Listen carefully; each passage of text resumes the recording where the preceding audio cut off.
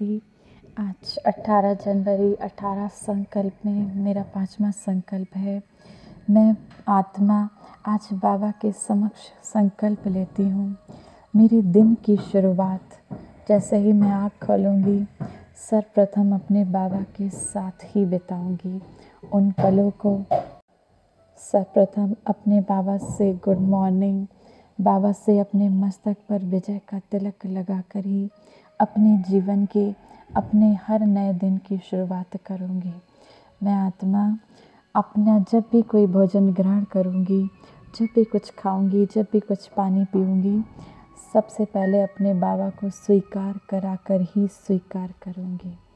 मैं आत्मा रात्रि में सोने से पहले अपने बाबा का आवाहन कर, अपने बाबा की गोद में ही विश्राम करूँगी।